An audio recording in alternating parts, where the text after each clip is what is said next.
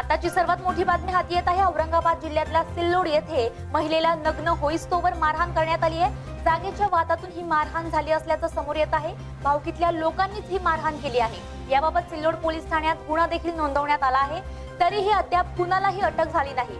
याबाबत धनंजय रामदास वाघ यांनी फिर्याद दिली आहे. मणिकर्णिकाबाई वाघ यांच्यासह सहा जणांवर गुन्हा दाखल करण्यात आला आहे. या संदर्भातील अधिक माहिती जाणून घेऊयात. आमचे प्रतिनिधी दत्ता कानवटे फोन लाईन वरून जोडले गेलेत. काय सांगाल दत्ता? नेमक्या कुठल्या कारणानं या महिलेला मारहाण करण्यात आली आहे? खर तर या पाठीमागचं कारण हे कौटुंबिक वादाचं कारण सांगितलं जात आहे औरंगाबाद जिल्ह्यातल्या सिल्लोड तालुक्यातील सराफ दिल्लीमध्ये हा घडलेला प्रकार आहे. भावकीतल्याच लोकांनी संबंधित महिलांना त्यांच्या घरात घुसून बेदम मारहाण केलेली आहे. ती मारहाण निर्वस्त्र होईपर्यंत विवस्त्र होईपर्यंत मारहाण करण्यात आलेली आहे. परंतु मारहाण झाल्यानंतरही मारहाण होत असतानाही पोलीस घटनास्थळी दाखल झाले नव्हते.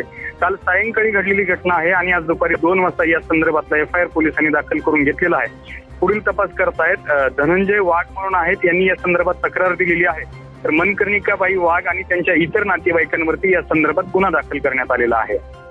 धन्यवाद दत्ता दिलेल्या माहितीबद्दल. तर औरंगाबाद जिल्ह्यातल्या सिल्लोड येथे महिलेला नग्न होईस्तोवर मारहाण करण्यात आली आहे. जागेच्या वादातून ही मारहाण झाल्याचं समोर येत आहे.